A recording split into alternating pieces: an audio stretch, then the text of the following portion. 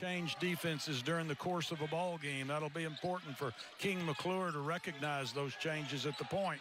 Really good ball movement. Open three, and King McClure knocks it down. Bandoo.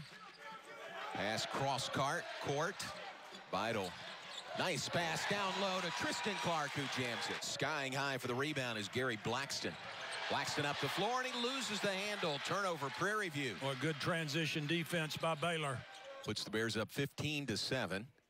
Second one is no good. Rims out. Clark the rebound and the putback for the Bears. Nice job of using his strength and size advantage.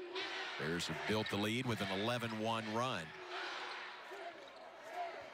Three left corner is up and in. You know, that was just a great shot by Andrus on the offensive glass. King McClure didn't block, block him out.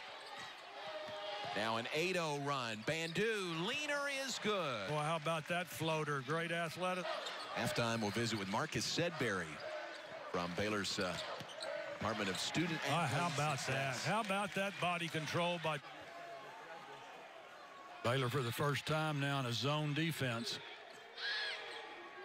Three right side rattles in for Chancellor Ellis. Take the ball one way and go the other. You can't just pinpoint your passes.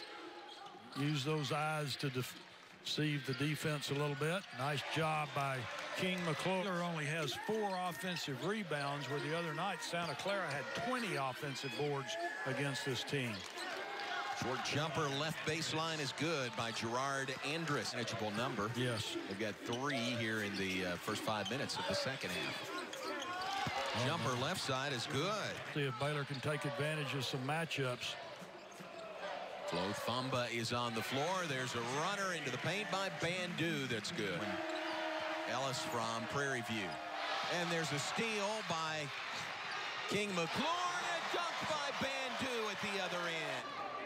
Yeah, now watch this straight drive. Well, as the, this is the steal. This is what Baylor does a great job getting the ball to Bandoo on the finish.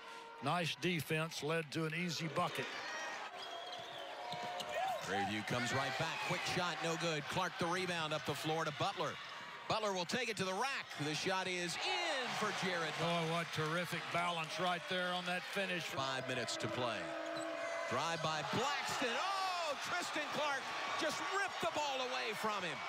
No foul on the play, and Clark will finish at the other end. Sequence for Tristan Clark. Bears lead by 17. Sequence by Tristan Clark. The block on one end. He'll finish with the dunk at the other end. Bears lead by 15.